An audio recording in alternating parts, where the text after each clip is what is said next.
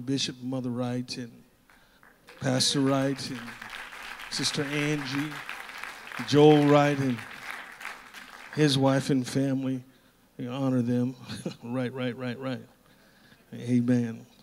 But uh, I appreciate them very much, but I thank them for the opportunity to be able to stand here tonight. But most of all, I thank my God. Amen. I, I do have something that I feel like the Lord has uh, shared with me here to, to, to share with you. And uh, I, want, I want to do that. Uh, but uh, I want to get, you know, this is not by way of apology, okay?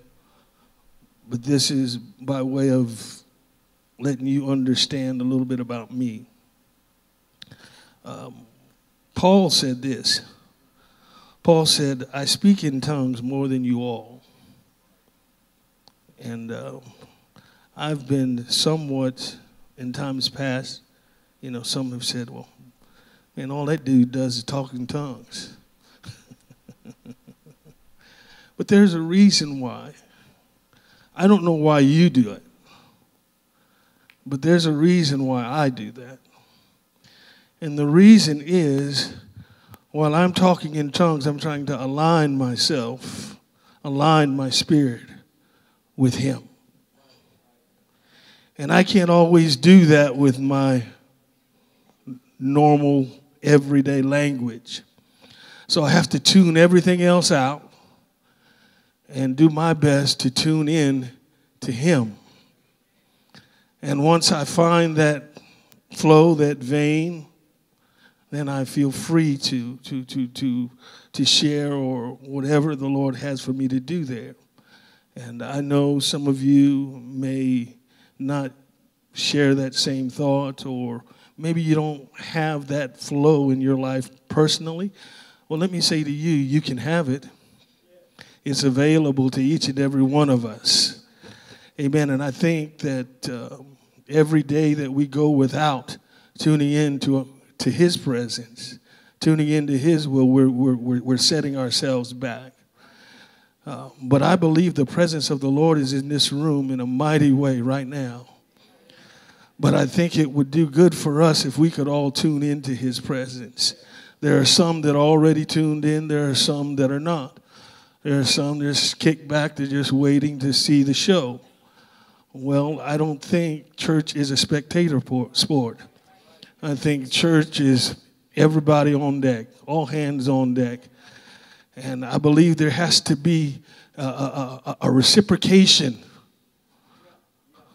There has to be a reciprocation of, of anointing. There has to be.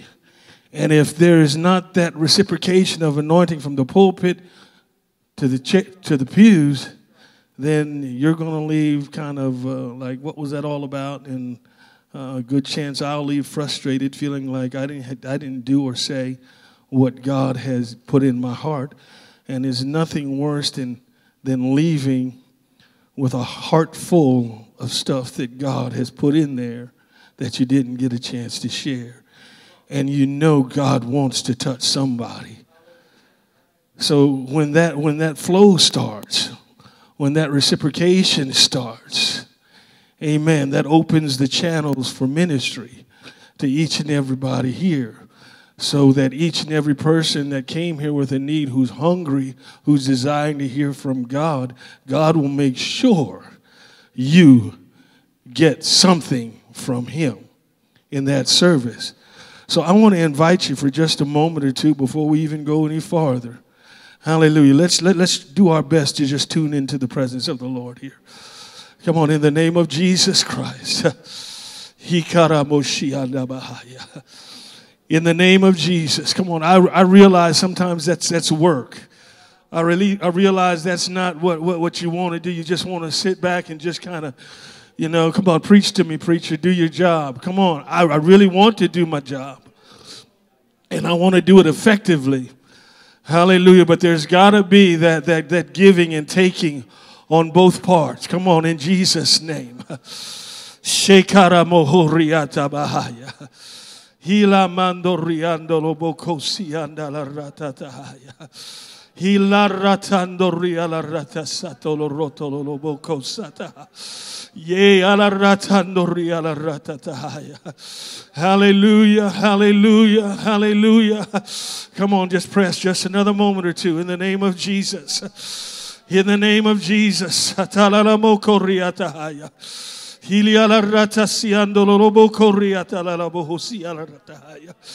the name of Jesus, align us with your purpose, God. Don't let us miss your flow of anointing here tonight, God. In the name of Jesus Christ. God, there are hearing ears, hungry hearts, Lord, that need to hear from you. In the name of Jesus Christ. Hallelujah, hallelujah, hallelujah, hallelujah. Shekaramondo rialama hasando rialabahaya.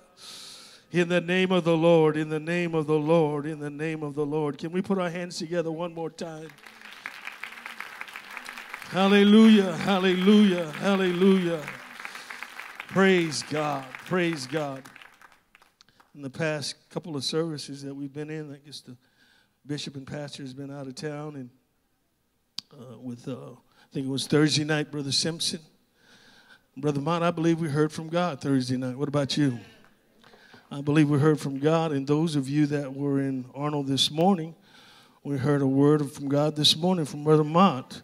It was a good word, and God was in the place. And amen. Praise God. And I pray tonight that uh, it will continue. but uh, uh, Brother Mott asked me tonight, he said, uh, uh, Sister Trish was playing a lot of the older songs and talking about the soon coming of the Lord. And uh, he said, Good God, brother. Are you are you gonna you gonna be talking about heaven tonight? You gonna be preaching about heaven? well, I don't know if we're gonna preach about heaven or not, but uh, we're gonna do our best to do the will of God. And uh, but I, I love those old songs. I love hearing those old songs. Those old songs never get old to me. Uh, I've got a house full of younger people, daughters and sons, son, and uh, uh, they play the newer songs, but if you ever want to get their attention, all you got to do is start playing the old stuff. And they want, they, well, Dad, how, how come we don't, how come we don't sing those songs like we used to? And well, I, I don't know about all of that, but I love and enjoy every time I get a chance to hear them. And uh, I appreciate Sister Trish and her ministry to the body and Amen. Uh, Brother Jalen, where are you? You're singing my favorite song here this year. And uh, that first song you were singing, that's my song. And uh, I, I, fell in love with that song from the moment I heard it. And uh, I still enjoy it today. And uh, well, enough procrastinating, huh? If you have a Bible and you'd stand and turn with me, we're going to go ahead and read the word of the Lord. Praise God. We want to read, take our reading from 1 Timothy, I mean 2 Timothy chapter 3 and verse 1. Uh, and when you have it, say, I've got it. You didn't get it that fast. Amen. 2 Timothy chapter 3 verse 1. This know. Turn to your neighbor and say know this. Also that in the last days perilous times shall come. For men shall be lovers of their own selves, covetous, boasters, proud, blasphemers, disobedience to parents, unthankful, and unholy, without natural affection, truce breakers, false accusers, incontinent, fierce, despisers of those that are good. Anybody relate to that? Traitors, heady, high minded, lovers of pleasures more than lovers of God, all around us every day. Having a form of godliness, but denying the power thereof. From such, the scripture says it admonishes us of such to do what? Turn away. For of this sort are they which creep into houses and laid, lead captivity silly women laden with sin, led by, led away with diverse lusts. I'm sorry, ever learning and never able to come to the knowledge of the truth. I want to talk to you tonight for just a few minutes. It's going to take a little while for me to get there, uh, but if you will reciprocate with me, and we will preach together, preach together, as Brother Simpson said the night, the other night, reach together, then we will, you will understand my title. I will concur, or, or, or I will be the first to tell you it's not going to be, you're not going to make very much sense from the very beginning. But if I can get to where I need to get to, you will understand better by and by. All right? But my title for tonight, Under Duress, Brother Glenn, he wanted a title and he wanted some scripture verses. So, uh, under duress, I had to give him a title. And uh, that title is Don't Let the Noise Stop. Don't let the noise stop. Man, it's quiet. don't let, tell your neighbor, don't let the noise stop. You may be seated in Jesus' name. And I know that is about as far away from a, uh, from a text as you can get. But if we can travel a little bit, if we, we can comb through some of this stuff, we'll get there and you'll understand, and hopefully um, it'll be a blessing to you. But first, we want to go ahead and try to lay a little bit of a foundation here from this portion of Scripture that we read to you. First of all, there are some things that we need to know in, in, in our relationship and living for God. Anybody believe that? Uh, there are some things that you have to be persuaded about. There's some things that you've got to be convinced over. You can't be back and forth over some things. There's some things that have to be settled. And about, I don't know, it had to be somewhere 10, 12 years ago. Uh, just, just in my spirit, things didn't feel right, Brother Mott. I, I wasn't settled. It, I was looking at what was going on in my life and I was looking at what was going on in our society and our world and I, I couldn't find any real peace. Everything was up in the air and I, I really didn't know what was going on. And tonight, while Sister Trish was singing that song, This World is Not My Home, I'm just a passing through. While I was meditating on some of this the other day, that song came to me. Helped me to realize that regardless of what's going on in this world today, regardless of what's going on in our society today, this world is not my home. I'm not here for what's happening today. Amen. I'm not this this is not where the journey ends. I'm passing through. I must go through this time but this is not the end. Brother Mott said it earlier. This ain't heaven.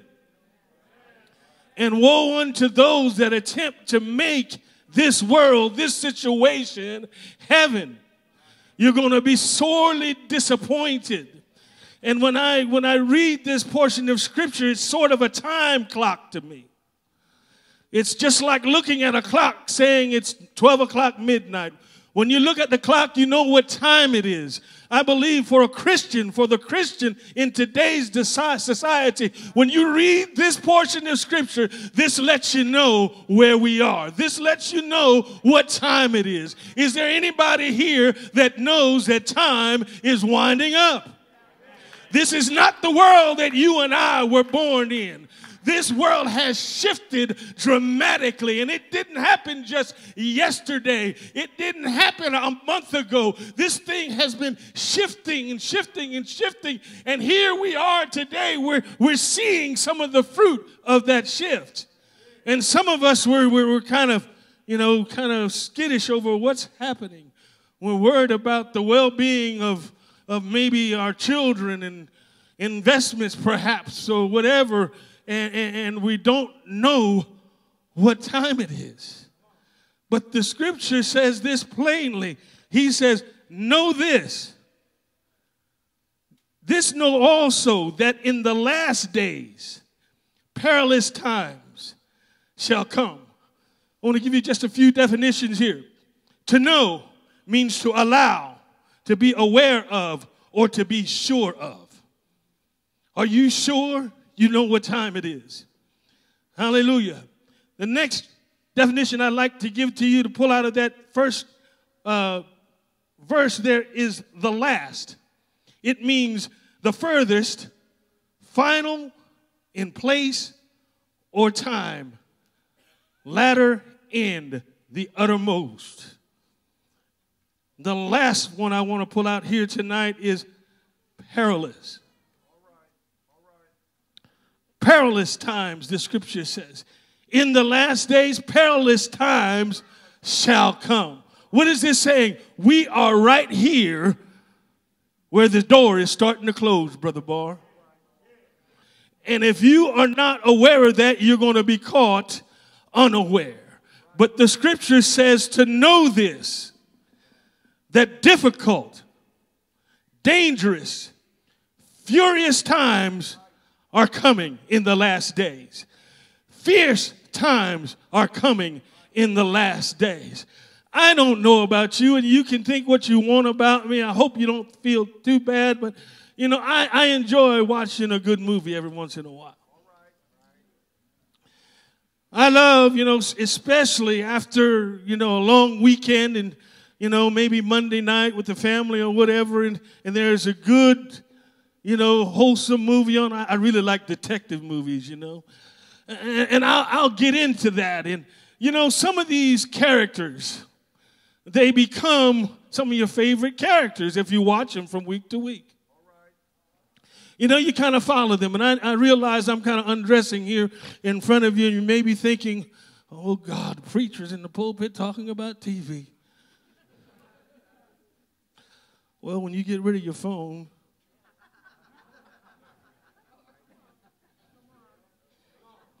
Hallelujah. I don't want to fight with you over it, but but anyway, some of these characters, they become, you know, just the character. You follow them. You know, and and and, and there's a couple of shows that I like to watch, detective shows, and and, and you know, but it just doesn't stop there, Sister Spriggs. Because you kind of follow these characters and then what it makes me want to do is what are they really like in real life? Are they as bad and bold in real life as they are on the screen?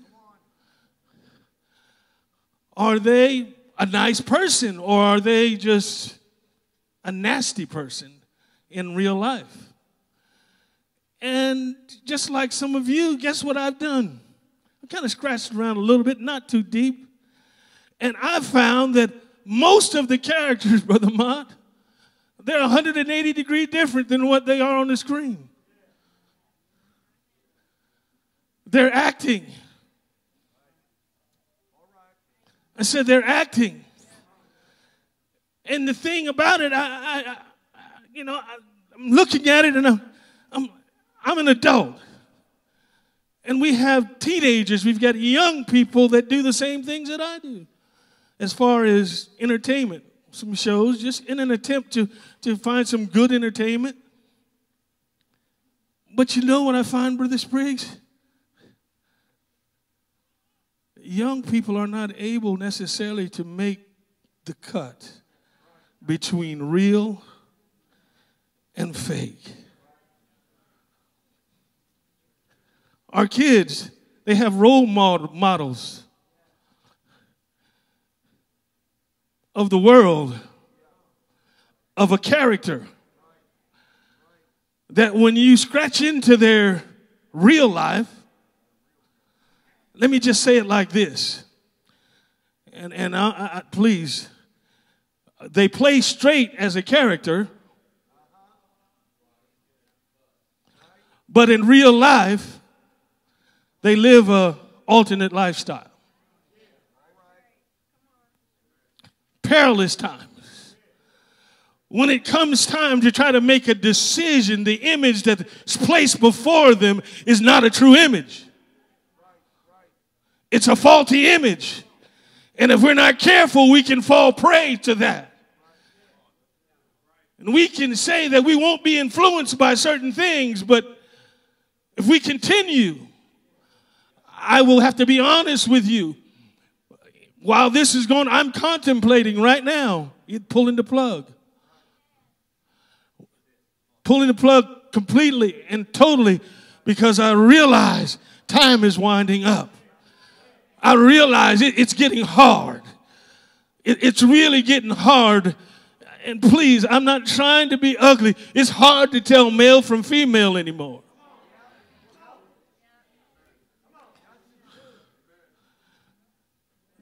They may look like a female, but when you get up close, they sound like a man. and this is scary to me. I've got grandchildren walking the malls or down the street and they're looking and, and they're looking for an image and, and they see this conundrum. They see this confusion that's played out before them. Well, this is the climate of our day. Nothing is what it really seems, what it really should be. Everything's got a twist, everything's got a bend, everything's got a gray area. Oh, I pray to God that somehow God would give the church the ability to see and to see plainly. Because perilous times are here. We don't have to worry about coming. We're living there right now. I remembered some eight, ten years ago, I was in a care group and and and I was feeling this stuff and I went to care group and I kind of unloaded. I probably shouldn't have. But I unloaded in the care group, and when they left, when I left, their eyes was like, oh my God, what just happened? Because 10 years ago, I told them, I said, in another 10 years, everything is going to shift. Everything's just going to go downhill. And if you're looking for things to get better, if you're looking for everything to just suddenly turn around and be better, I got news for you. The Bible tells us to know this. When you see this happening, know where you are. Is there anybody here that knows where you are tonight? Is there anybody here that knows what time it is? Amen. This is not time to be playing around. This is not time to be, you know, on one side of the fence one day and the other side the next day. We got, we got to be straight. We got to be down the line. We need to be what we need to be. And the last thing that a, a, a young person needs to see is confusion, especially in the house of God. Especially in the house of God. Amen. It's confusing I went to that care group that night and I, I, I really felt bad when I left. But when I talked to them today, you know, we're slow admitting things sometimes. You know, because we really want things to get better. We, we want things to somehow turn around and have a happy ending. Can I say this? There is no happy ending outside of the church of the living God. I can't believe I'm doing this. It, it's just a scary time. Can I be honest with you? I, I, sit with my grandkids on my knees and I'm like, Lord, how is this how, how is this going to pan out for them? What can I do to somehow shape their future? What do I need to put in them so that they can have it when they need it? Lord, I don't want them to be swept away in the current of today's mess and end up lost. I'm not a rich man, and I don't ever think I'm going to be, not in a natural sense. But I believe the Lord has blessed me. I know the Lord has blessed me. So I, I really don't waste time on this side trying to garner treasures to, to, to, to, to put up for, for a day that I probably won't see. And I know that's contradictory to a, a lot of you, but, but I, I'm sorry. I, I got to trust God with today. And I got to trust God with tomorrow. I got to trust Him with next week. I, I can't, I, I can't, I can't get wound up trying to lay up treasures that I know in my heart, Brother Mott, that I will never, ever use. So, so what do we do in this situation here today? What do we do in, in, in, in, in light of the situation that we're in? In all of this mess, the Lord has a church. In all of this darkness, the Lord has a church. But what is this church to do in the interim while he is yet working but has not finished his work yet? If I could say it like that. I believe that the Lord is coming, and I believe the Lord is coming soon. I can't tell you the time, I can't tell you the day, I, I don't know that. But I know in my spirit that this thing is winding up and it's winding up quick. You know, there are athletes today that we that I follow. and brother Mott, I follow these athletes and you know some of them are they're real men. but when you it's disappointing It's, it's very disappointing to see an individual come to a place of such success, or if you want to call it renown, and then when you scratch beneath the service, service you see, oh my God, I didn't know that. And we, we, we, we publicize them. We, we lift them up before our children and our grandchildren, and, and we make them role models. And oh my God, I, it's, it's just a fearful time. I pray today that all of my, my, my, my, my grandchildren's role models are in the church. I, I, I pray. I, I, I, pray. I pray. And if I could use this in a way, I, that role model, I'd rather that role model be the worst, the weakest Christian than to be some cat out there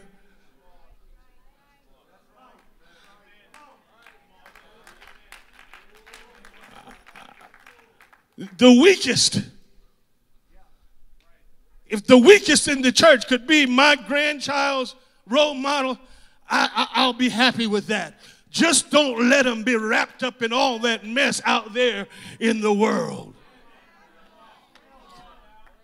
The church is our home. The church is our world. The church is our deal. The church is what we do.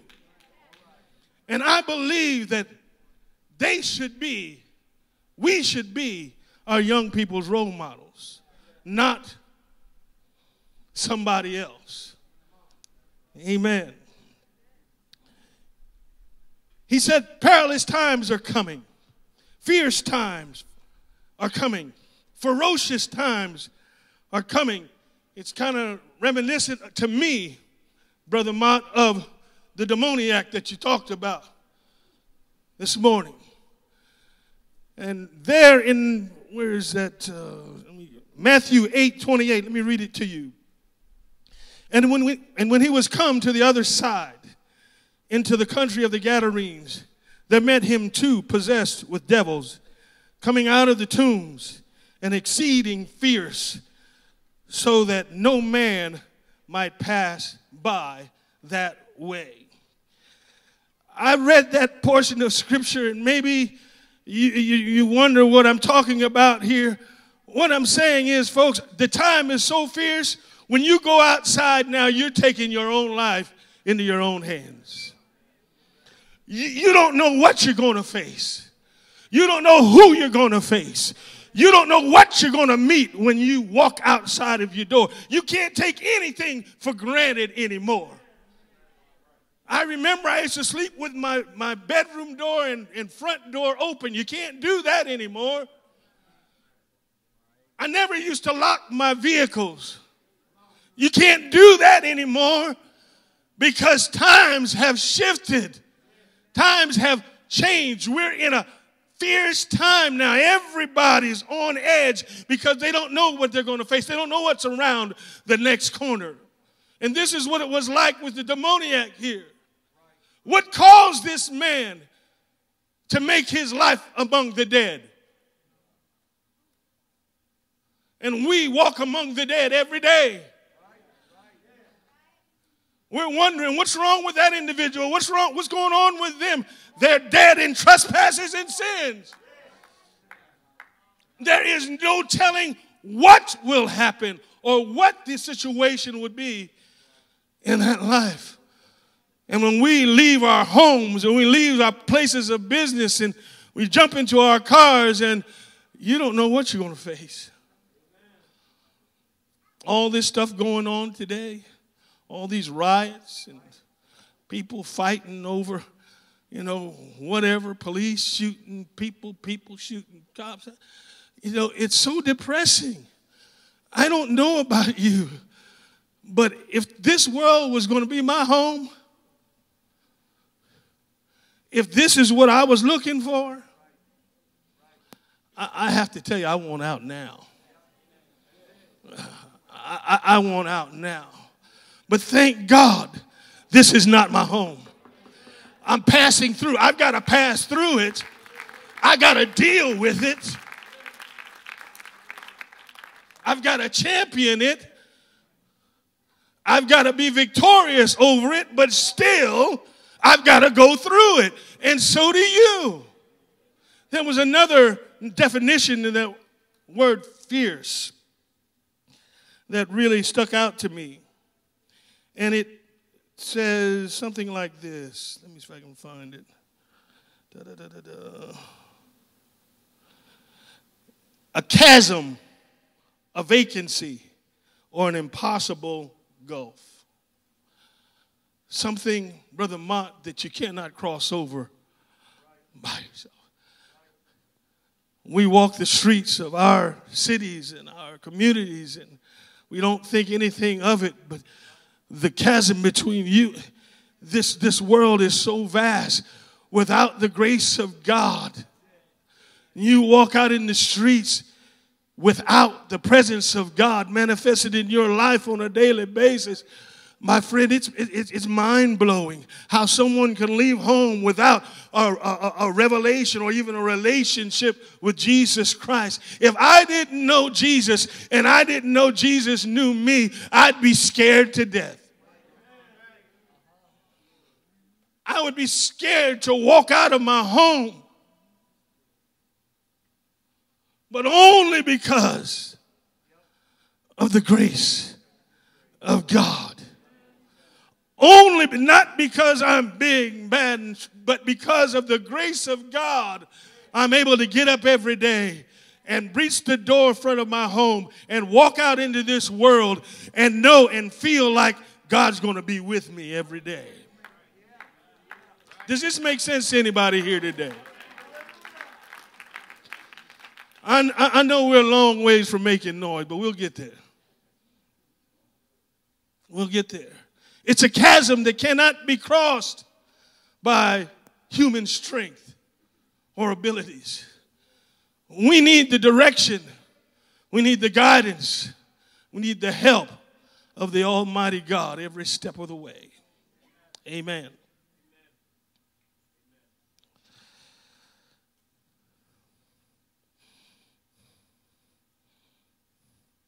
The only protection we have in this world today is the presence of God. The only protection that we have as children of God is being who He called us to be. Brother Middleton, what do you mean? The greater percentage of us in this room tonight, I said us, we live so far beneath our spiritual rights in God. We live so far beneath what God has prepared for each and every one of us. And in the midst of all of what's going on in our world, what I've seen, what I've observed in the last little while is the church has grown to a place to where we've allowed this, this, this, this, this, this, this onslaught to back us into a corner where we refuse to be who God called us to be.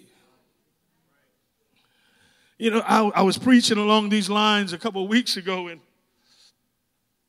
uh, there was one lady, I was in Baltimore, I believe it was, on a Sunday morning, and, and, and somehow I got on this a little bit, and uh, I just spit out, I said, quit expecting everybody at your job to like you.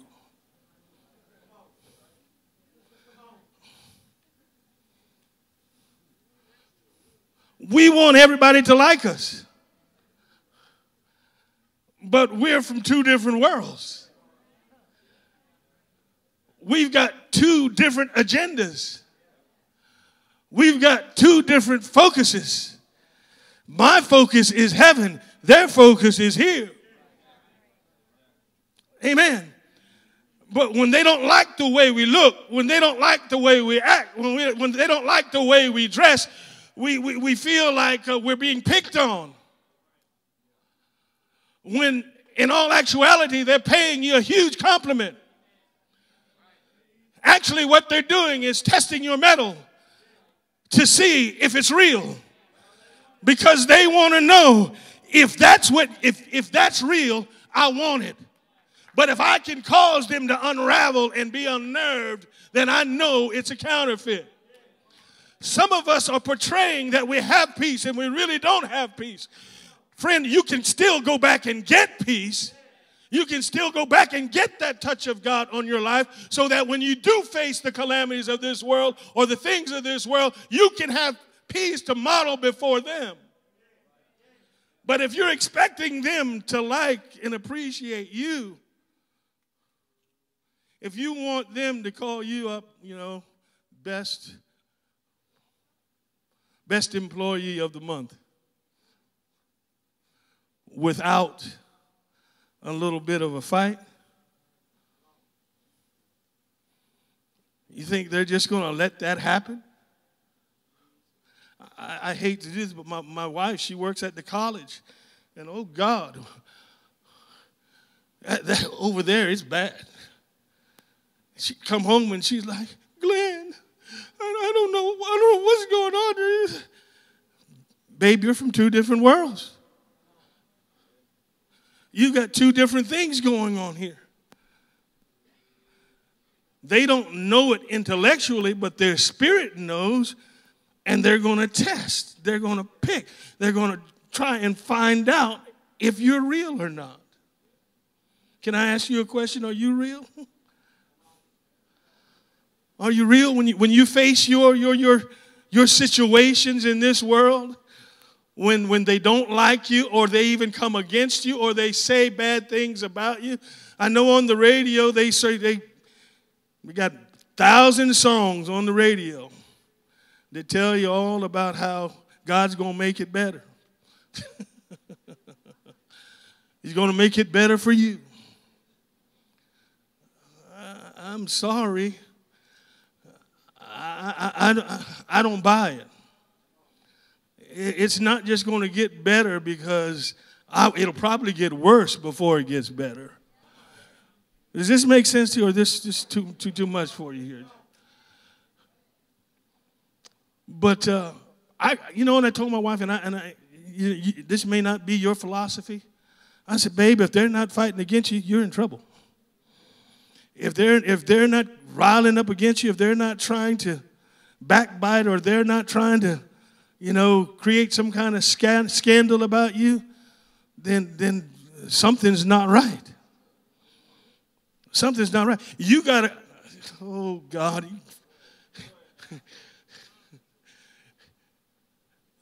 You got to come to kind of, you know, you look at them with one eye and you look at them with the other.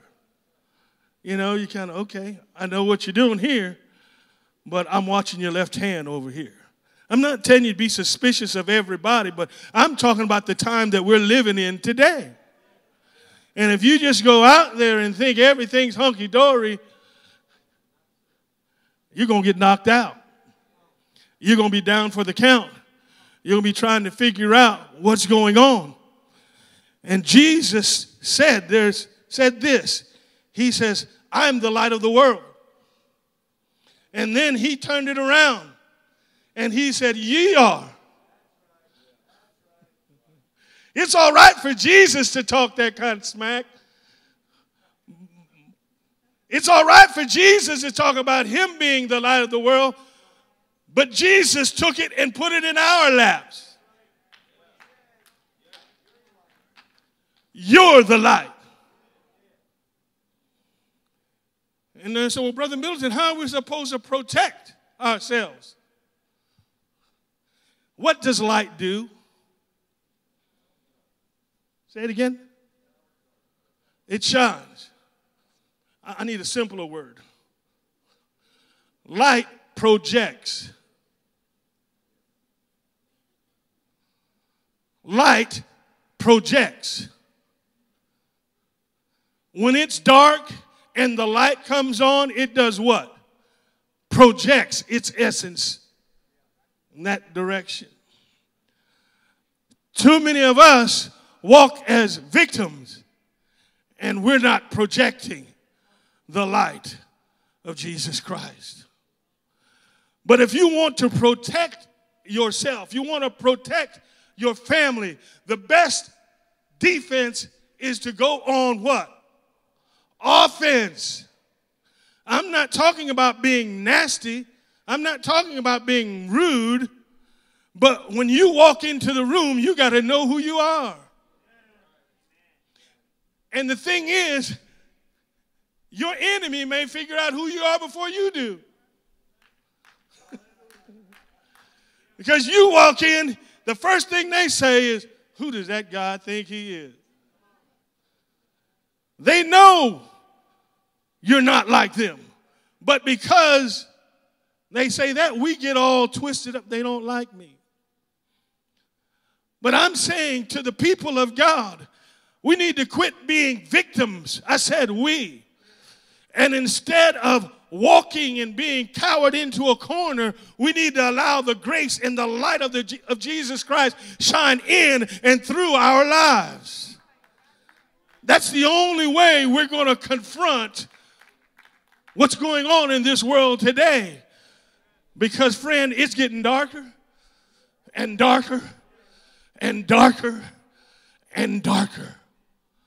But there's one thing that I am assured of the darkness cannot, cannot, cannot, cannot, cannot, cannot overtake the light.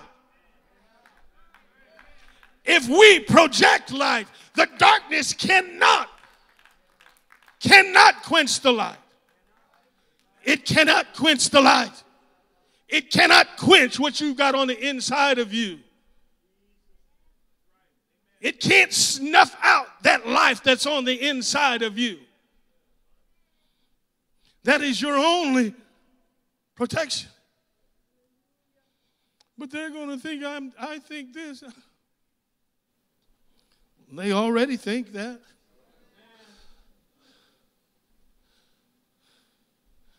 But why not square your shoulders back and walk in there like the scripture says, knowing, knowing what time it is, knowing what you're facing, knowing what you have to deal with. Jesus told us ahead of time, He said, Know this in the last days, I'm, I'm telling, I'm giving you a secret, guys. This is what's going to be happening. Don't allow this stuff to catch you by surprise. Don't let it just creep up on you, sneak up on you to where you are, are perhaps even tempted with it by yourselves. But know this this time is coming.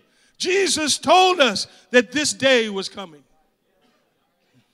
Jesus told us that this time, this season was coming. But are we prepared for it? How are we dealing with it? I said we, not you. Because again, I told you my, I'm like, whoa, what is, it seems like here in the last, especially in the last year or so, Brother Barr, everything just took a slide to the left. And it's going down fast. You know, and I'm not here to endorse or, or destroy anybody's whatever for the candidacy for the president, but how are you going to waste your vote?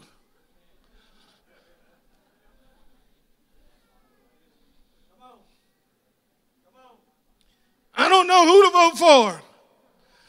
Either one, I don't think it can stop this slide that's happening. Either one, it's going to get darker. I said it's going to get darker. It's not going to get brighter. It's not going to get lighter. It's not going to get better. It's going to get darker. And we can sit and we can suck our thumbs and we can fall back in the corner and, and refuse to be who God called us to be and then be overrun. Or we can take the offensive and be what light is. Projects. And with that light, Brother Vernell, light not only projects and protects, but it provides uh, uh, it provides direction. Anybody looking for direction right now? Anybody need direction this hour? Anybody need direction in this situation? I don't know about you, but I do every day because you don't know what you're going to face. But with light comes protection. It comes there, there, there, there, comes direction. And also, Brother Spriggs, light produces hope for those who are standing in darkness. And if we are not who God called us to be, what hope is there? If we don't allow the grace of God to work in and through our lives to manifest the light that He put within us, then what hope is there? When I was a kid, was an army brat, and we, we, we traveled all around. I, don't want to make it sound we just traveled from place to place, but we, we, we were stationed in a few different places and in my younger years. And one of the rules that my mother and dad established when I was a kid, you know, four or five years old in country somewhere that's not home. We wanted to know, well, mom, how, how long can we stay out on the playground? And my mother, growing up in the South, she didn't know what to do. She went to my dad because where they were raised, they just played until they got tired, till their eyes closed, and they just went out. But here we were in Germany, Puerto Rico, or wherever we were, and we're, we're asking my mom, Mom, can we go out and play? And uh, she says, Well, yes. She says, Well, we ask her, so, Well, Mom, what, what time do we have to be back home? And she, she really didn't know how to answer that question, so she, she talked to my dad and, and asked him, says, uh, kids want to stay out a little bit later. but they want to know what's an appropriate time for them to come home. I mean, like I said, we were young elementary school kids, and, and my dad told her, says, you can let them play, let them go out and play. I Don't want them to grow up thinking they, they can't, you know, play out in playgrounds or in the yards or whatever. But I want them home when the street lights come on.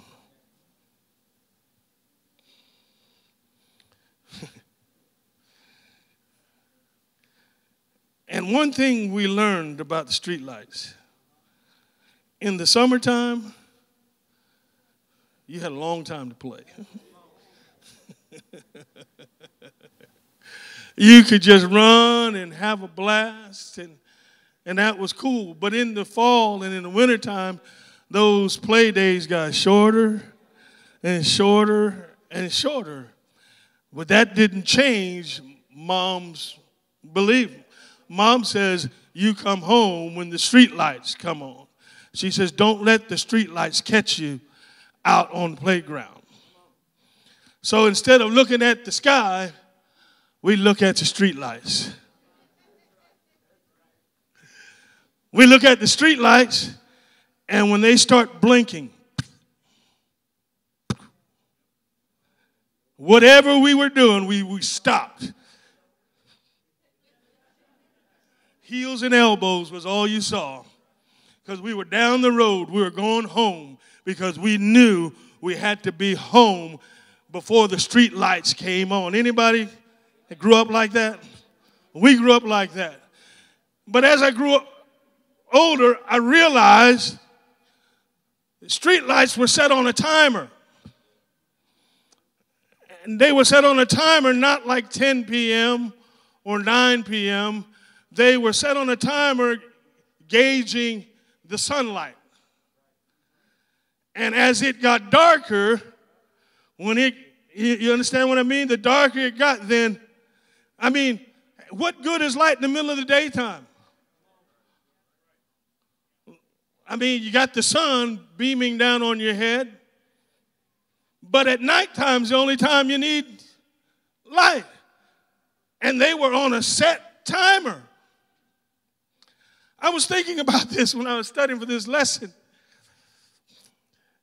And, and there are some of us that are sitting here today, we're struggling and we're, we're, we're, we're trying to figure this thing out, and, you know, and, and we're trying to work with it, eh, and, you know, and, and it's getting darker, and we're, we're getting a little apprehensive as to what's happening, and, and, and, and, and the light's about to come on, and, and, and some of us, we're anticipating the light, and we're, we're headed home. But there's a large portion of Antioch that's out there And we wonder, some of us parents are sitting here today wondering what the problem is. And instead of us being what God called us to be, light, set on a timer, and those that are in our families that are out there wasting their lives, wasting whatever, and you want to know, we're, we're going through all kinds of stuff trying to figure out what, what's, you know what they're waiting for? They're waiting for the light to be turned on in your and in my life that will signal to them, Brother Barr, it's time to come home. There's a large portion of Antioch that are sitting out in the darkness waiting for those lights to come on, Brother Barr.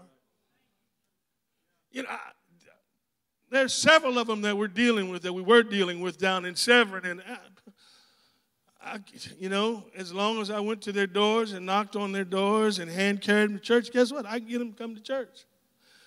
But, you know, I got to a place of realizing, look, you got to make, at somewhere along the line, you got to make this your own decision. So, so I backed off. And all of a sudden, guess what? They stopped coming.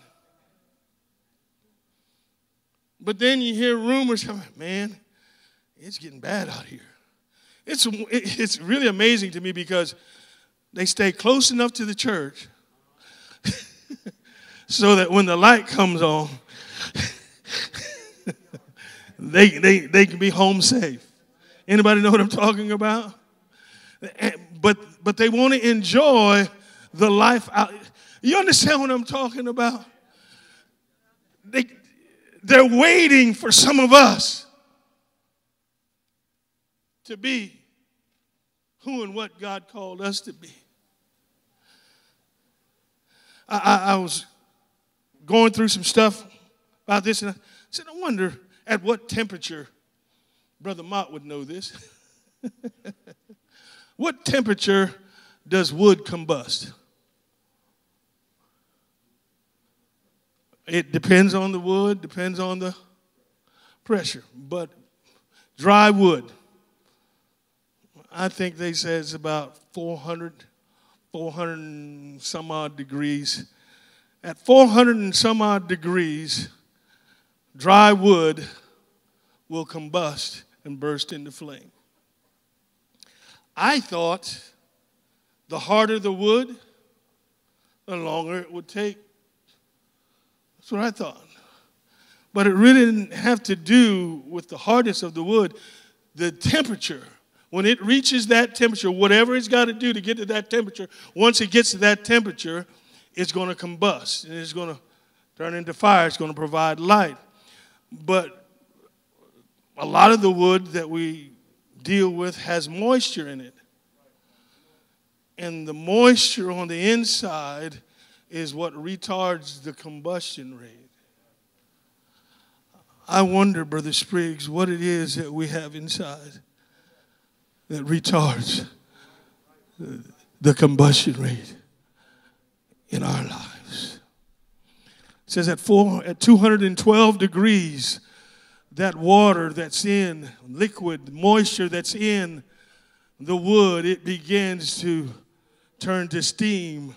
But at 400 degrees, it's dry enough now and it combusts.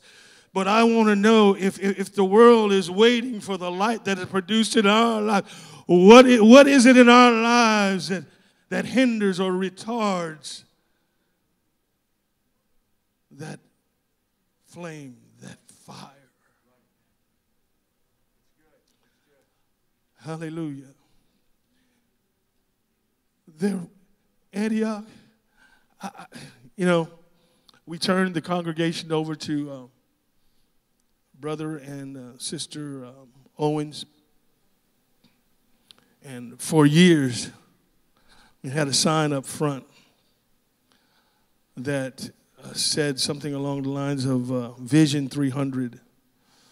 And uh, that was a vision God gave me. But Brother Spriggs, we never, never got there. To my knowledge, they still have that, that, that banner there, Vision 300. And you talk about frustrating. Some days I'd walk in, I'd see 300 and I turn around, I'd see 25. And we go through these cycles. I believe we, at one point, at a, a block party, we had some like 430 visitors. One block party. Ooh, yeah. Contacts. Then all of a sudden, dissipated. Had another drive, 300 some odd. Those are these are high numbers now. And, and, and that was great. And we'd ride the wave of that for a little while, and then it just dive again. And when we turned it over to Brother Tino and Sister um, Eunice, I'm sad to say, it was about, I think on our last service, it was like 70, 75 people there. Brother Tino came to me uh, a week or so ago, a week and a half ago. He said, Brother Middleton, I think it's time for you to come back, preach for us. And I was really trying to stay away. And uh, I told him, I said, Well, if you want me to come, I'll come. And I came, went, and all of a sudden, I don't know what happened, Brother Barr, But something shifted. Something shifted. And all of a sudden, he's running numbers like 85, 97. Soon it's going to be it's going to be over 100. next week could be 100 very easily. But when I was standing in that service, I was wondering what the, the, the, the problem was, what the situation was. And I told them, I said it publicly, I said, if, if I knew this was going to happen, I would have left five years ago. I did. I told him I would have left five years ago. He said, Oh man, you're just kidding. I, no, I'm not. But somehow, somehow, Brother Vernell, he's been able to engage even the weakest. He's been able to mobilize the weakest individual there. And though everything may not be done perfectly, when I was there, they were waiting for my wife and I to do everything. Now, guess what? Everybody's trying to work. Everybody's reaching out. Everybody's trying to be what they were called to be. Even if they make mistakes, they're still out there reaching, they're clawing. And his numbers are going up, up, up, up. Folks, oh, are you mad? Yeah, on my human side, I am. but my flesh, that's the way it's supposed to be because all of this time, we've modeled and demonstrated and modeled and demonstrated what we were to be. And all of a sudden, Brother Spriggs, guess what? People are catching hold and backsliders are coming in week after week after week after week. And, and I'm asking, what are you guys doing? What are you guys doing? He said, I don't know, man. I don't know but they're running into the communities, knocking. I don't know why. When we were there, they wouldn't do it. And they wouldn't do it. So, guess what? I'm not in this all alone. So I just crossed my, crossed my legs and crossed my arms and said, Well, if it gets done, you'll get the message before I move. And that's what happened. And the Lord saw mercy came with me and visited me with mercy and delivered me and delivered those people because my head was harder than theirs and I wasn't moving. I wasn't moving. But somehow, he got them to believe. Somehow, he got the weakest individual to say, I can do this.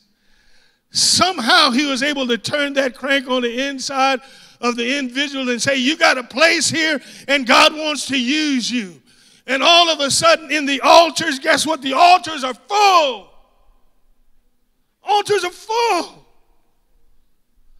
because they are becoming what God called them to be. Folks, the Lord has called us to be light. He hadn't called us to be pushed back in a corner somewhere. Some of these folks, they're, they're, they're lost. They, they don't know how to get home. We were coming from Baltimore the other night, and I had a, a GPS moment. I was headed to Baltimore, and all of a sudden, I just, you know, if I got the little box right there, my brain checks out. At 500 feet, turn right. So 500 feet, I turn. At the next light, make a left. Man, how cool is that? GPS is the joint. you don't have to think about it. You just roll with it, you know? And the beauty about it, there's been a few times, Brother Spriggs, I made a mistake. Instead of making that turn at 500 feet, I made it at three. But there were some reassuring words that kept coming from that box that I, man, I learned to shout over. Man, that woman in the box, she says, recalculating. Recalculating. You know, and I realize, you know, some of us, we make a big mistake and we make a big turn way out of the way and we think repentance is this big deal. Sometimes repentance is just recalculating. Re- that's God saying to you, Your destination, I haven't forgot it. I've got it in mind, and I'm going to do everything that I can do to get you to your destination.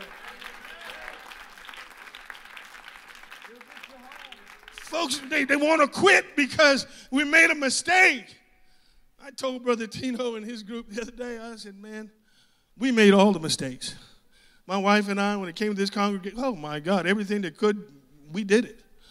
Made a lot of mistakes. I heard a lot of recalculating in 20 years. lot, Lord, I thought recalculating, recalculating. Lord, you mean you can fix this? Yeah, just trust me. Just listen to me.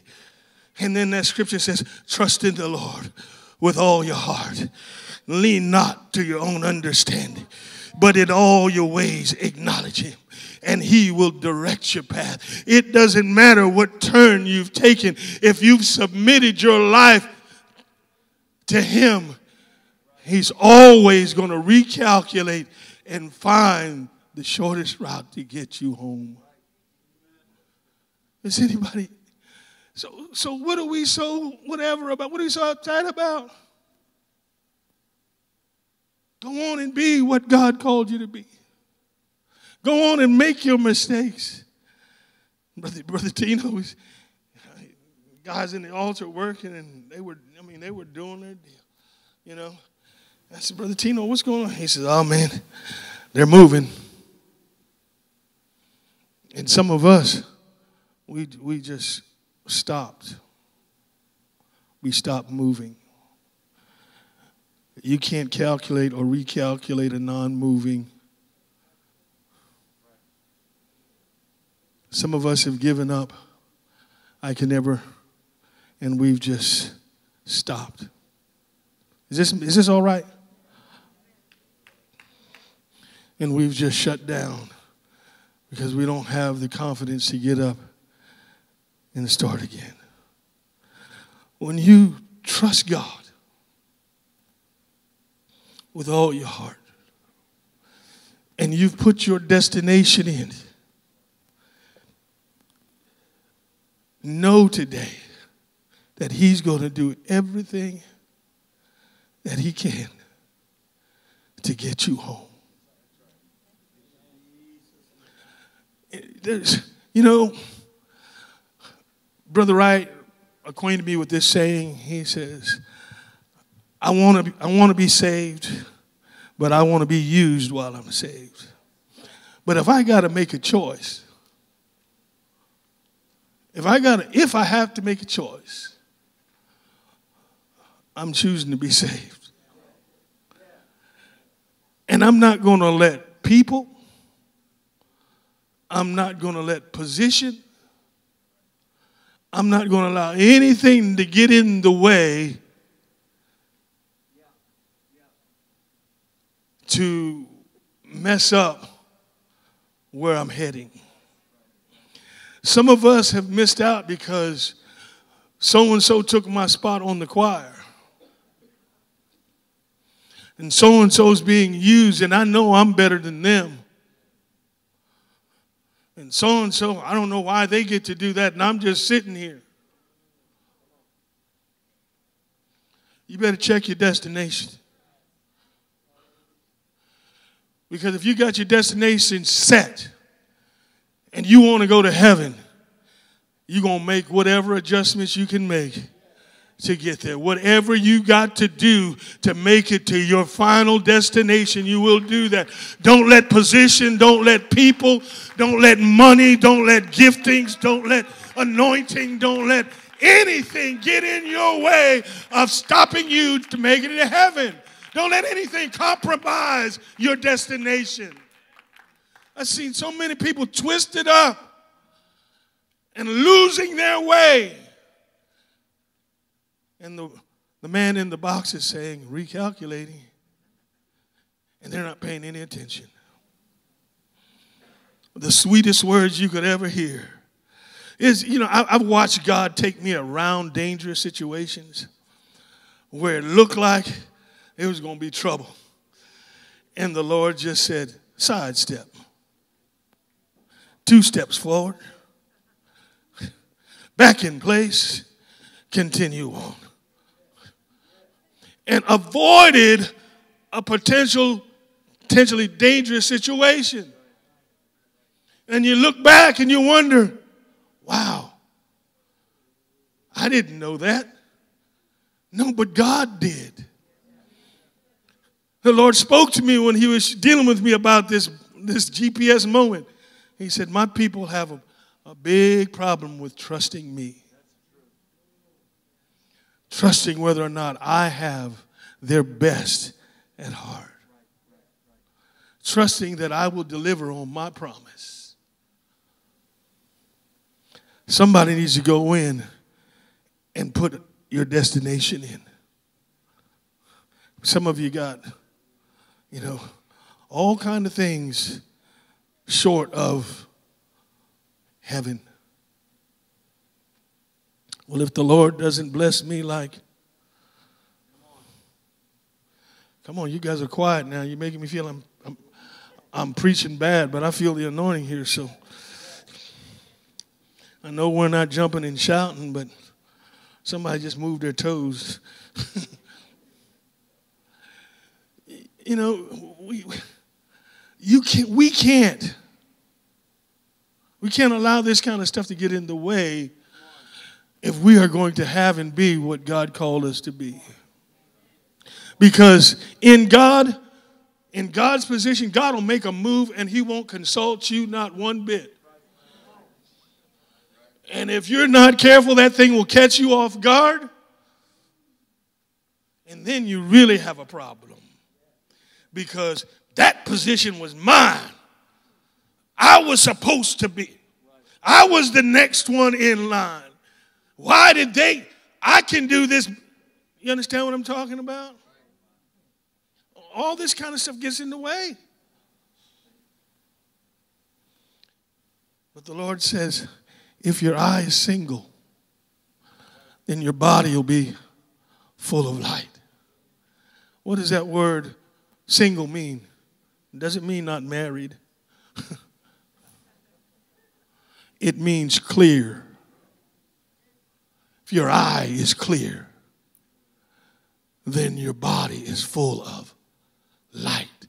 As that light shines forth through your eyes, you can look in somebody's eyes and you can tell.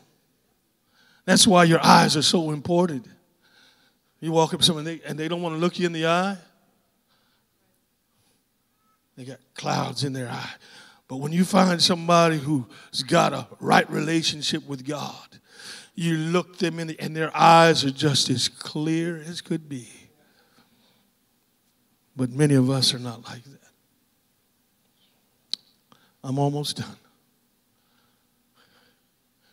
But on the way home, street lights are on. Prodigal son, he's coming home now.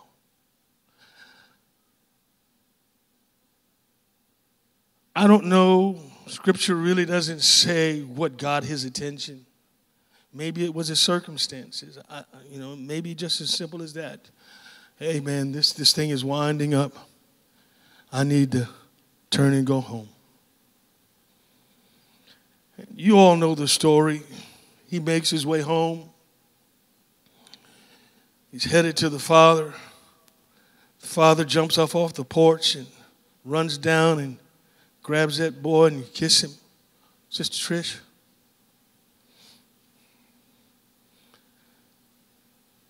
And all of a sudden, there's that meeting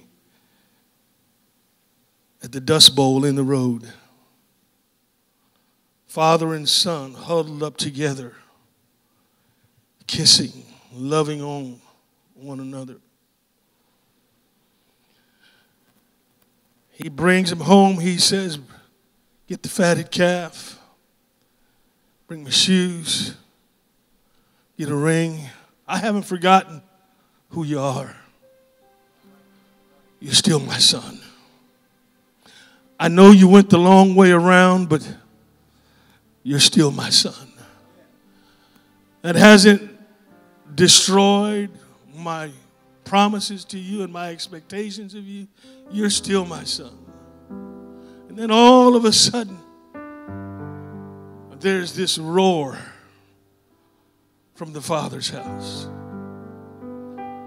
There's a noise of partying and celebration, and everybody's having a good time because, you know, loved ones back home, and everybody's just having a wonderful time celebrating.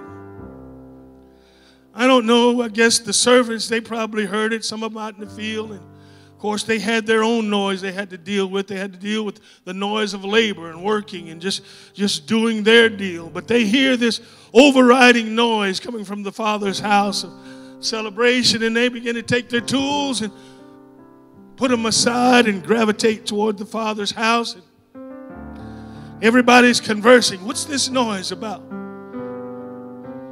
What's this noise about? And the noise was about one son. Not a group, but one son, Brother Mott, who found his way back home. There was a noise of partying that erupted in the father's house because of one son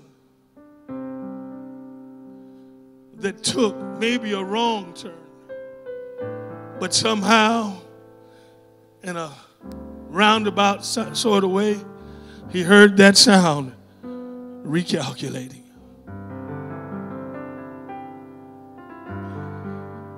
I know you messed up. You spent all the money I gave you, and you're coming back home a shell of what left.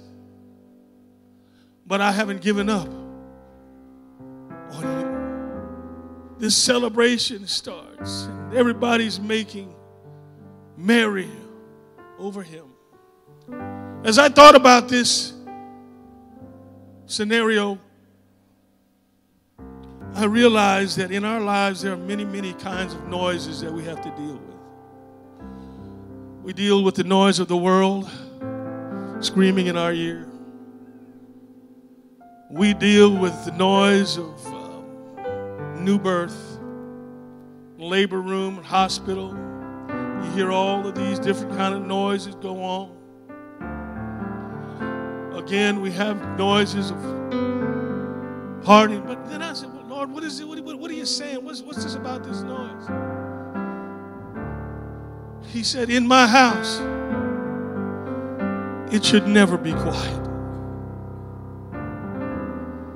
In my house, there should always be noise. In my house, there should always be noise of celebration, or perhaps a, a brother, a sister coming home. But we nowadays, we don't even hardly celebrate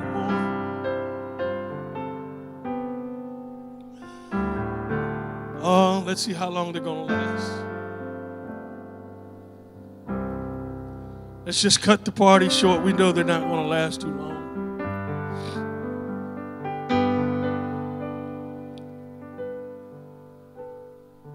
You see, in the church, there should always be not just celebration,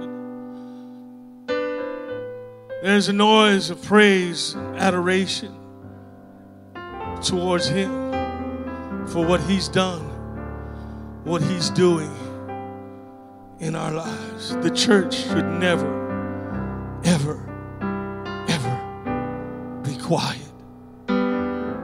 If it's not a noise of a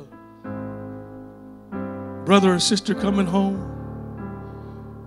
it should be a noise. Somebody celebrating a new birth. Back there in that baptismal tent. There should always be a noise of thanksgiving of somebody being delivered.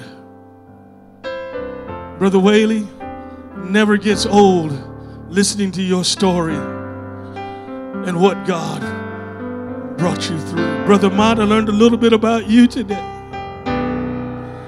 And today that's contributing to the noise in my spirit over what I heard. Because you know what? God did the same thing for me. My contention to you, folks, is when the noise stops, life ceases to be.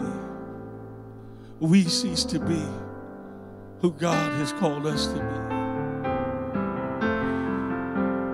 I come here tonight to simply say this Brother Ben, don't let the noise stop. Don't let the thanksgiving stop. Sister Stephanie, don't let the gratitude stop. I don't care if nobody's moving. Sister Trish, don't let the noise stop. There should be, there's all kinds of noise. We go through cycles, there's noises of travail when we're trying to bring down principalities and powers and there's there's there's there's noises of intercession where somebody will give themselves to God until that thing is brought down and destroyed.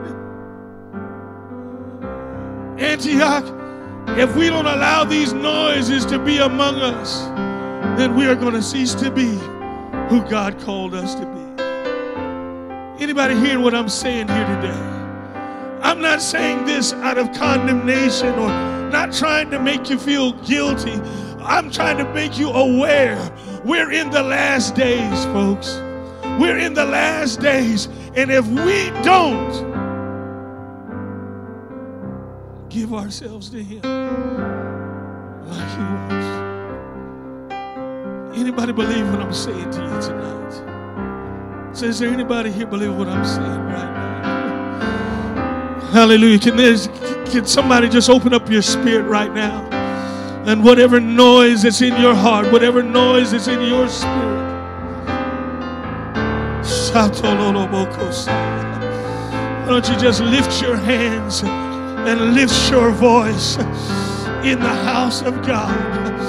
There should be a noise of prayer.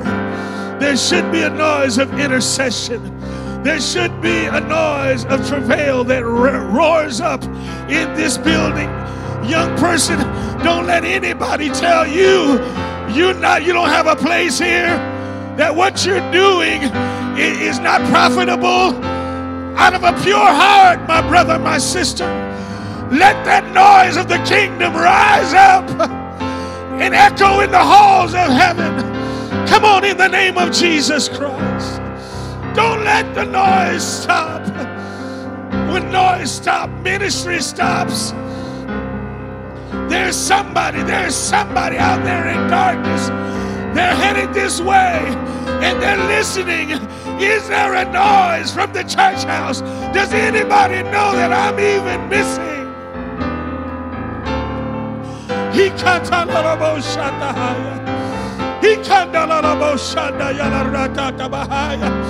Come on, church. Just a few minutes. I know I've gone for a little bit. Come on, but God wants to do something in this room tonight.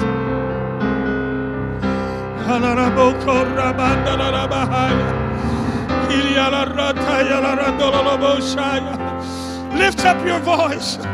Don't let the enemy silence your voice.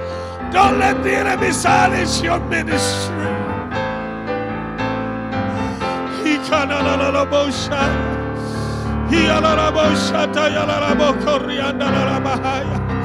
Somebody's headed home. They're looking for, they're listening for a familiar sound. They're not looking for the sound coming from a stadium. They're listening for a familiar sound that comes from the church of the living God. The stadiums can't make this kind of noise. This noise has only one source and it isn't God.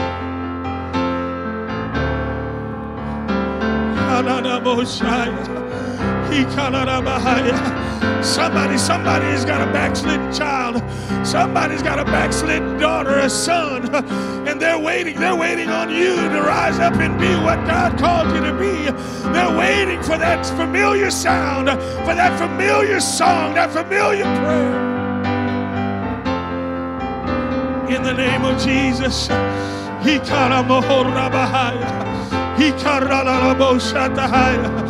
Come on, mother, in the name of Jesus, lift up your voice. Now is not a time. Now is not a time to become mute. Now, now is not a time to be silent. Come on, lift up your voice. Lift up your voice in the name of Jesus.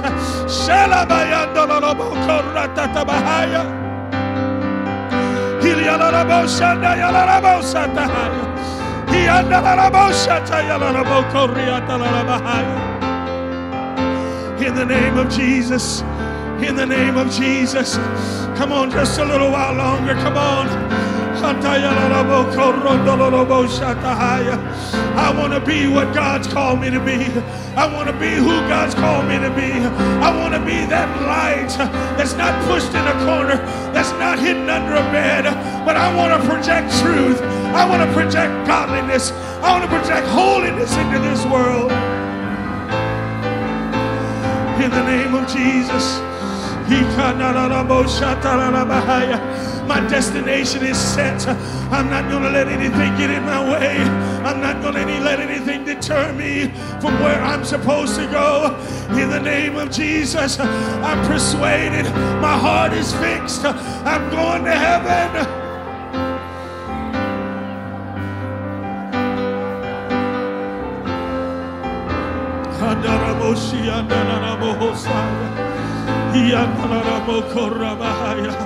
If I had a child tonight that was outside the church house, I'd be on my face right now before God. I'm telling you right now, folks, they're waiting for you. They're waiting for you. Oh, my rise up.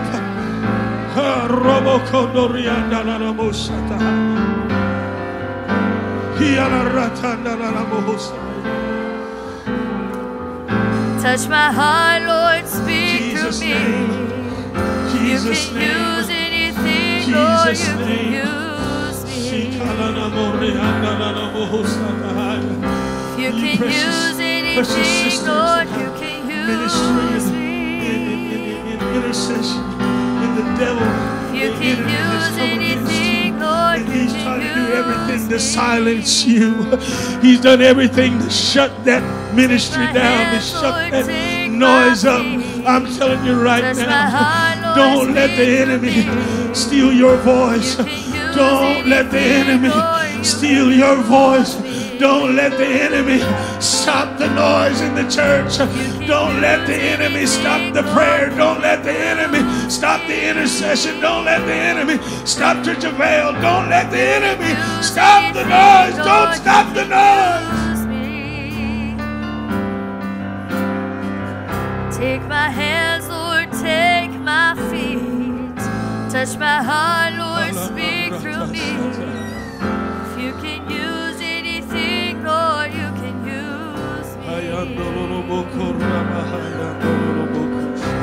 can use anything, Lord, you can use me. Sister Day, Sister Day, I looked in your eyes, and in spite of your sickness, you're not compromised, not one. Your eyes are just as clear today as they were the first day I saw you. I know you're going through a lot right now, and I know you're going through a lot with your family and whatnot. But let me tell you this, Sister Day, don't let the enemy steal your voice. Don't let him stop the noise. Don't let him stop your ministry.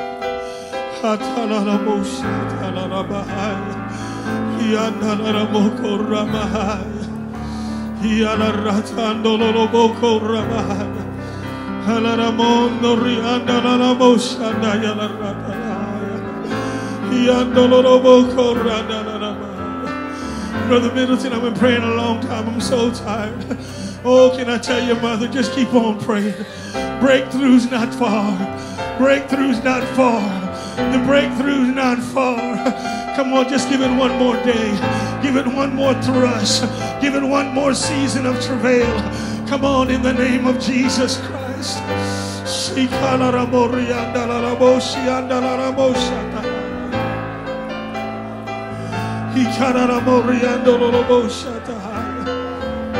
Don't, don't, don't stop the noise.